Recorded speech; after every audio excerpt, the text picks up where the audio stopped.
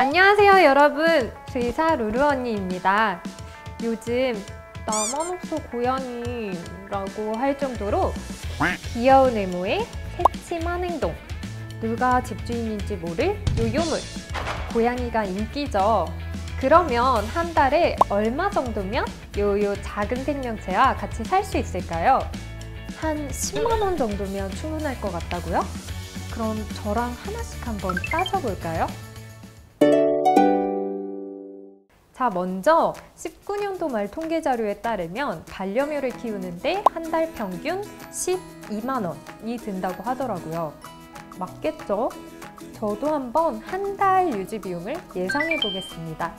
고양이를 키울 때는 보통 사료, 모래, 장난감, 스크래처, 그리고 각종 도공품들이 들게 될 텐데요. 개묘차가 있겠지만 한 달에 한 마리당 사료 한 1.5kg 한 포 라고 생각해보면 한 2만 원 초반 그리고 모래는 벤토나이트 기준으로 6.5kg 한 포 하면은 한 2만 원 정도 근데 모래는 팍팍팍 팔 수 있게 좀 높이 쌓아줘야 고양이들이 스트레스를 풀 수가 있어요 그리고 장난감, scratcher 합치면 한 만원 정도면 될 거고요.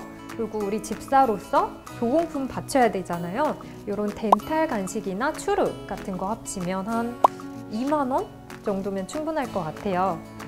그럼 합치면 얼마죠? 음, 7만 원? 오. 기본만 따지면 매달 7만 원 정도씩 들어가겠네요.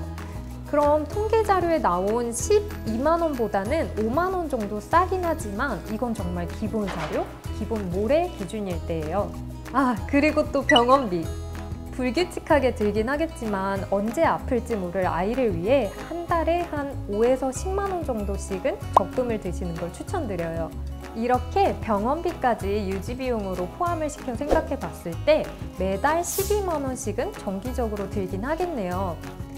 오 그럼 나도 한번 키워볼까? 라고 생각하실 수도 있겠는데 여기서 하나 빼먹은 게 있습니다. 바로 입양 초기 비용.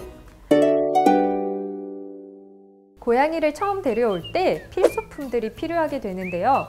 정말 딱 필수템들만 이야기를 한번 해보자면 밥그릇, 물그릇, 화장실, 발톱깎이, 브러쉬, 이동장, 관용구 돌돌이, 전용 샴푸 이렇게 많아? 보편적으로 많이 찾는 가성비템들로 샀을 때 한 10만 원 정도 든다고 예상해 볼 수가 있겠네요. 근데 우리 아직 캣타워 캣폴 이런 것도 안 샀다는 거. 그리고 입양하시면 동물병원 방문은 꼭 한번 해보시길 추천드립니다. 병원에서는 신체 검사를 통해 전반적인 컨디션 체크도 해주지만 그 아이의 나이나 발육 상태, 영양 상태에 맞는 케어 방법 또한 알려주시기 때문에 초보 집사는 꼭 진료 한번 받아보세요.